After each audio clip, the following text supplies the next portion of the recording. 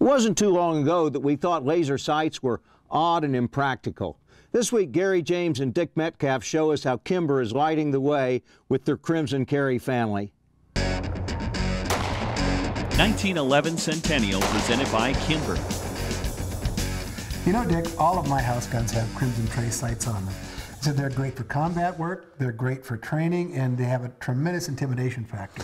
Absolutely. I certainly don't want to see a little red dot dancing around on my mm-hmm. chest. It amazes me that there was such institutionalized resistance to the idea of laser sights on any type of firearm for so long. I think it's because it almost made it too easy for the professional trainers because nobody ever misses with a water pistol.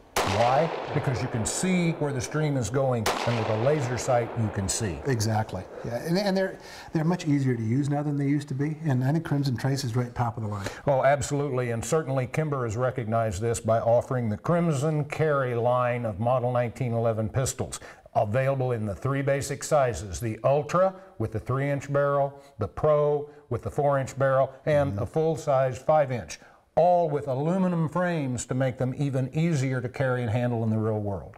It really is a heck of a deal, and to make the package even more attractive, the grips are specific to Kimber. They have a rosewood finish, uh, a, a, Kimber logo, and there is a, a recessed slide stop pin which allows proper employment of the laser. All right, it doesn't, it doesn't interfere with the exactly. beam. And I'm particularly fond of the fact that it activates right or left-handed instinctively mm in mm-hmm. the grip because I'm left-handed.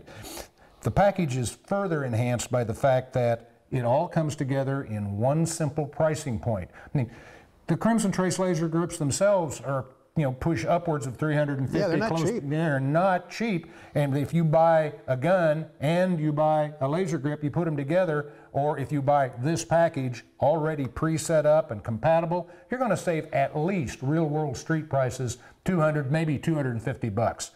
Buy this gun.